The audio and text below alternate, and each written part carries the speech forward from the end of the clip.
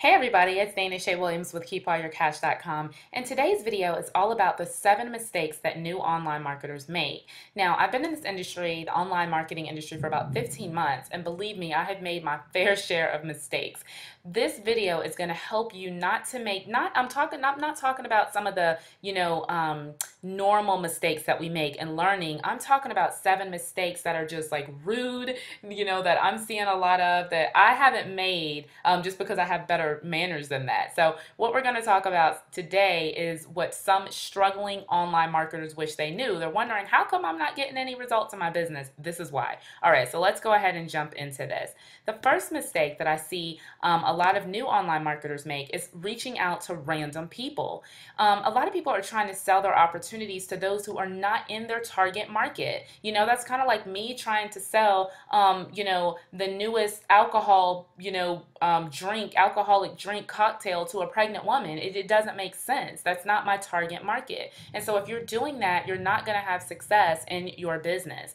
Randomly messaging people on social media, has that ever happened to you? It's happened to me. It doesn't work, okay? Instead, focus on building quality relationships with people who are in your target market and you're going to have much more success. The second mistake is tagging other people without permission. Oh, I see this all the time. It happens to me quite often. When you start to build a large following of people, other people begin to take notice of that and they want to capitalize on your success. Listen, it's rude, it's annoying, and it will get you deleted. I delete people all day long who do that because it's just unnecessary and it's bad manners. If you have a business opportunity and you want to share that with a friend of yours who has a large following, the good thing to do, the proper way to do, is to just simply ask them first, okay? The third mistake is spamming your links. Now, what I'm seeing a lot of is people who use um, tools like Hootsuite, for example, right? So I have all these Facebook groups I'm a part of. I'll pull up a Facebook group and there's just link after link after link on the whole page. And it's it's almost, you know, you almost don't even want to participate in the group anymore because there's just links all over the place. There's no content, there's no value, it's just links. So the bad way to do it is like this. You know, just posting work from home today, keepallyourcash.com. The right way to do it is to post some valuable content and then add an enticing call to action, right? After you've shared your value, then you can say, so if you're looking for a way to start your online business, visit keepallyourcash.com. That's a much better way to do it. All right, the fourth mistake is over exaggerating income claims and benefits. Listen, if you haven't made six figures in a month or a year, don't say that you have. Because listen, people who are at that income um, level have a certain level of communication skills, they have a certain level of leadership skills, and if you don't have that, it's going to easily come across, and people will easily be able to tell if you are just, you know, trying to fill their minds with hype or if you're the real deal. Okay, if you haven't made the income, just don't talk about income. Talk about maybe something that you've learned. Talk about maybe someone else's income. You could always do that. Share other people's success. If you don't have any success of your own yet, don't make it up. All right, because people, like I said, can see through that. Okay, um, don't oversell benefits. Don't tell someone, oh, this business is going to change your life. It's going to save your children. You know, if that's not the case, which likely it isn't. So just if you have a good, valuable product, share your product and if the product is good, it can stand on its own.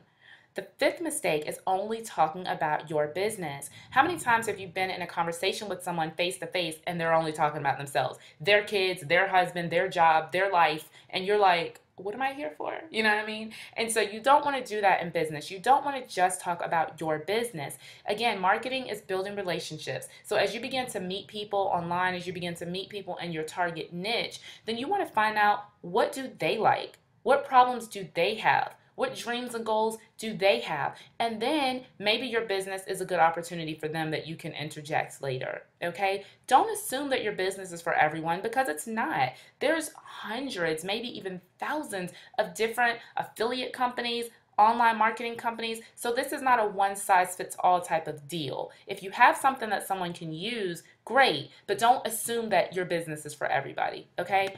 The sixth mistake is pleading and begging fatal mistake here, okay? Remember that people follow leaders not beggars. Don't ever go on social media or anywhere else saying, please like this. You guys, please, I just need five more likes to get up to 100 likes on my fan page. Please don't do that. You know, it's okay to ask people to share your, your content. It's okay to ask people to like your pages or like your posts, but it's all about your posture. It's all about how you do it. So make sure that you're doing it in such a way that people don't perceive you as a beggar. The seventh and final mistake that new online marketers make is taking on too much at one time. You know, my business mentor says all the time if you try to chase two rabbits, you'll catch neither of them. So be sure in this whole multiple streams of income, you know, um, phase that we're in, I'm not saying there's anything wrong with multiple streams of income, but what I am saying is that it's best if you focus on one stream of income first, build up some success there, and then focus on another one. But what's happening a lot of times is people want 10 different businesses going on at the same time.